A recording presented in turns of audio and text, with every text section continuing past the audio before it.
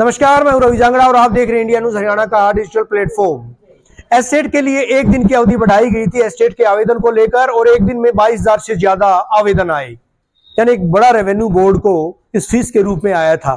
आपको बता दें कि दो और तीन दिसंबर को हरियाणा अध्यापक पात्रता परीक्षा का आयोजन हरियाणा विद्यालय शिक्षा बोर्ड के द्वारा करवाया जाएगा। अगर दो तारीख की बात करें तो दो तारीख को एस्टेट लेवल तीन की परीक्षा, यानी प्रवक्ता पद की परीक्षा का आयोजन किया जाएगा, जबकि तीन तारीख तीन दिसंबर रविवार को लेवल दो व लेवल एक की परीक्षा, यानी टीजीटी और पीआरटी की परीक्षाओं का आयोजन करवाया जाएगा। विद्यालय शिक्षा बोर्ड के द्वारा आवेदन आमंत्रित किए गए थे और आवेदनों की तिथि 10 नवंबर मुकर्र की गई थी। एक दिन और बढ़ाया गया 11 तारीख और दी गई। हालाँकि इससे पहले 11 और 12 तारीख को एडिटिंग के लिए दिया गया था कि कोई करेक्शन है तो उस करेक्शन को जो आवेदक हो करवा सकते हैं एडिट करवा सकते हैं। किसी तरह कोई त्रुटि है, कोई क्यूरी है उसको दुरुस्त करवा सकते हैं। उसके लिए दो दिन मुकर किए गए थे, ग्यारह और बारह नवंबर।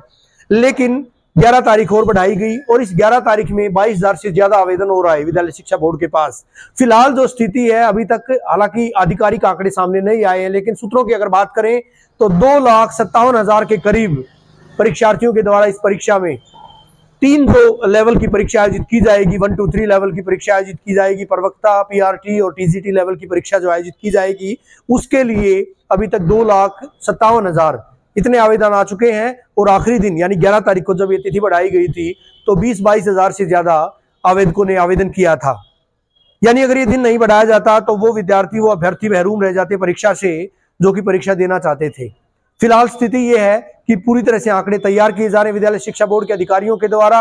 कितने, किस लेवल में कितने परीक्षार्थी परीक्षा देंगे, वो तमाम चीज़ें जो है वो देखी जा रही हैं।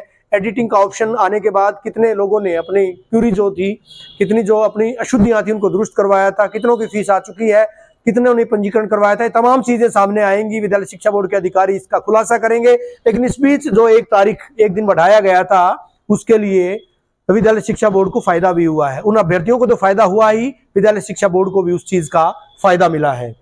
बहरहाल 25 तारीख तक उन जो अभ्यर्थी थे, उनका रिफंड भी किया जाएगा, जिन्होंने एक से अधिक बार जो है आवेदन किया है, एक से अधिक बार जिनके पैसे कटे हैं, उनका रिफंड भी विद्यालय शिक्षा बोर्ड के द्वारा संबंधित जो अभ्यर्थी उनके खातों में किया जाएगा। इंडिया न्यूज़ के डिजिटल प्लेटफॉर्म में लगातार खबरें जारी हैं। देखते रहिए, बने रहिए हमारे साथ।